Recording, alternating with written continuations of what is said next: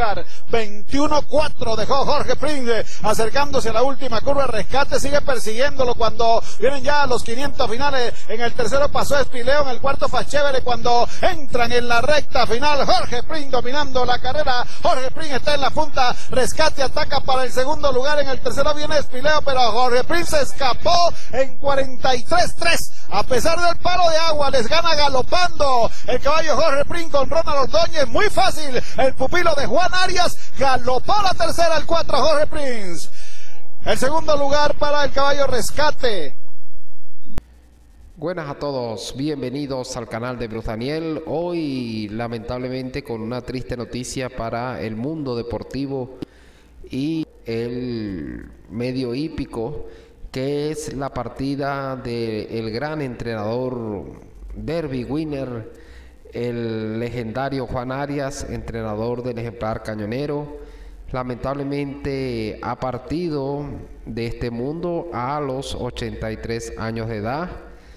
Eh, el entrenador lamentablemente contrajo el COVID-19 hace unas semanas y eh, se fue descompensando y ha sido una gran pérdida para eh, el mundo porque este señor de verdad que aportó muchas, muchas, muchas alegrías a el hipismo venezolano, al tour venezolano y este señor realmente siempre estará en los corazones de todas las personas que conocen la historia del gran cañonero que fue entrenado por este señor eh, estrella del entrenamiento Juan Arias. Eh, Juan Arias nació el 6 de mayo de 1938 en Marín, estado Yaracuy, y fue un hijo de Eustacio Arias que ya para la fecha de octubre del 45 eh, decidieron venirse hacia la capital a probar suerte. Eh, Juan Arias desde muy pequeño le llamó la atención, tuvo afición hacia los caballos, a pesar de que él quería ser aviador militar. Y ya en aquel desaparecido hipódromo nacional del paraíso, él se montaba en los árboles para poder apreciar el desarrollo de las carreras de caballo. Y todo esto lo fue llevando ya por primera vez al mundo hípico con la compañía del entrenador Julián Cadore y luego con el entrenador Manuel Suárez.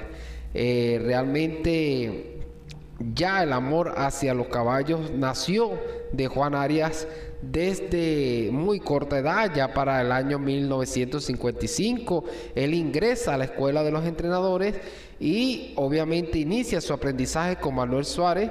Ya después pasó a la cuadra de Juan Pablo Miño y por ahí comenzó eh, esa gran carrera en el hipismo que lo llevó a en algún momento de la historia tener la osadía de pensar en participar en un Kentucky Derby, ya que había conocido al propietario Pedro Batista tiempo después que había adquirido unos productos que venían de los Estados Unidos y compró precisamente a el ejemplar cañonero y a otro ejemplar que se llamaba Comembe y ya para los mediados de septiembre de 1969 entraron a la cuadra de Juan Arias eh, en aquel tiempo cañonero tenía 16 meses de edad y obviamente estaba un poco falto de osificación y empezó como que dice su etapa para dogmar en una pista pequeña.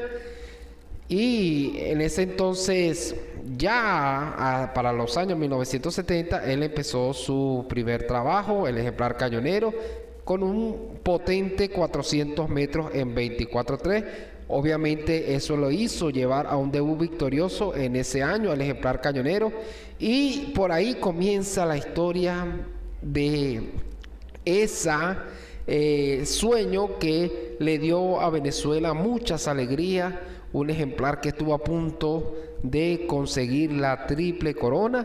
De hecho, hay una anécdota de Juan Arias que cuando estaba en plena competencia, él vio pasar a Cañonero, iba entre los últimos, y él pensó en ese momento y se dijo a sí mismo, oye, ¿qué estamos haciendo aquí?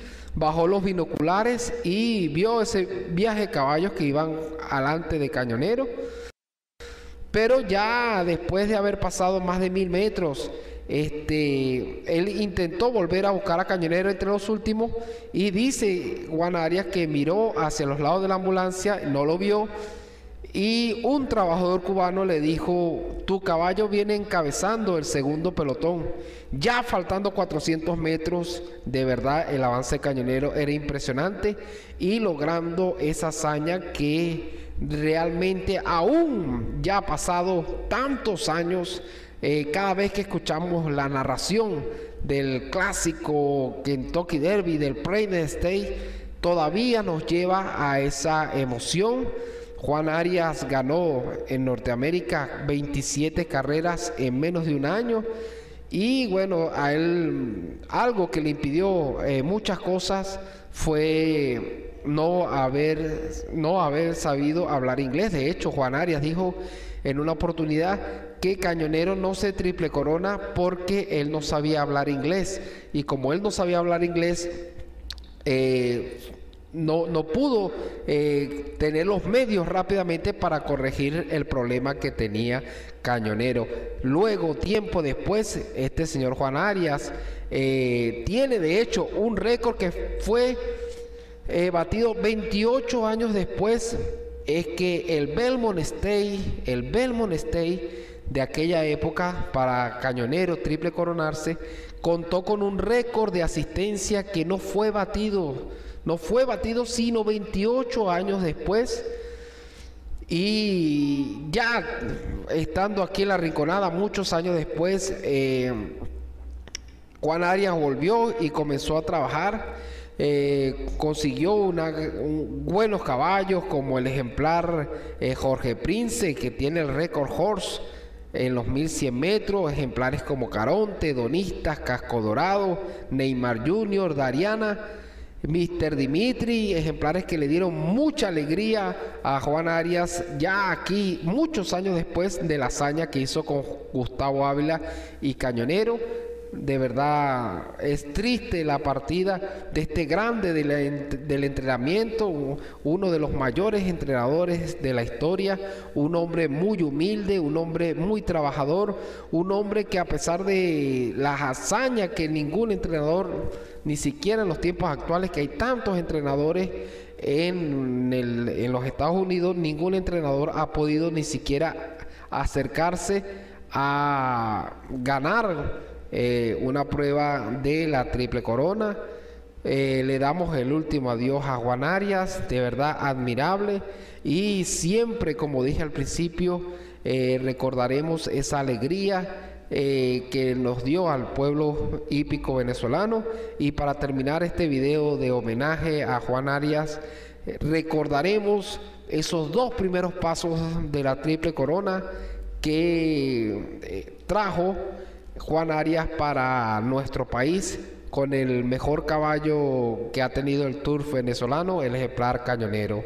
Así que Juan Arias te despedimos y es una, una tristeza para el hipismo venezolano la partida de este gran entrenador y trabajador venezolano Juan Arias.